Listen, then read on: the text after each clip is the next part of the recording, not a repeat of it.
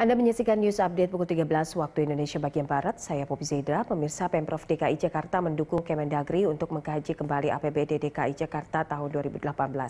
Wakil Gubernur DKI Sandiaga Uno menyatakan hal itu merupakan kewenangan dari Kemendagri. Sandiaga memastikan anggaran belanja tersebut kental dengan kepentingan masyarakat di KI level ekonomi ke bawah.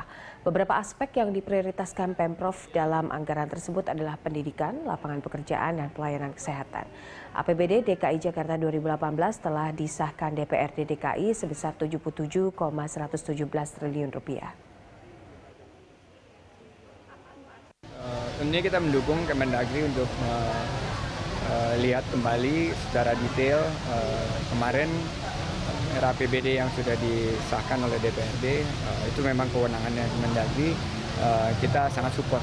Uh, dan mudah-mudahan uh, visi kita untuk menciptakan lapangan kerja. Tadi pagi saya datang ke sini keluhannya uh, 3-4 adalah lapangan kerja yang sulit didapat. Uh, itu bisa bisa kita fokuskan dalam anggaran ini ke depan. Uh, fokus pelayanan publik untuk kaum termarginalkan juga sangat uh, kental di uh, anggaran kita ini.